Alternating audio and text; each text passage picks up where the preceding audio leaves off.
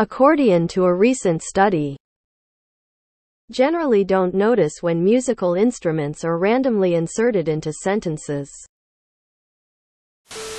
It kinda hurts my brain a little bit that I did notice it and that it was not corrected. I noticed tuba honest. I had sax with OP's mother. The seats for the show filled quite rapidly when all the people started to violin. People generally fail to see symbols within jokes. Okay okay I'll play along.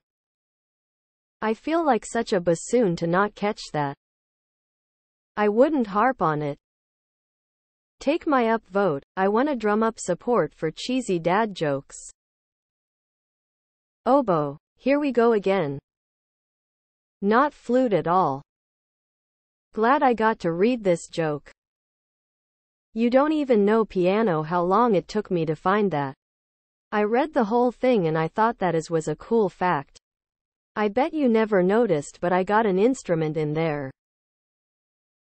I noticed beforehand, I was hoping it would be more punny. XD.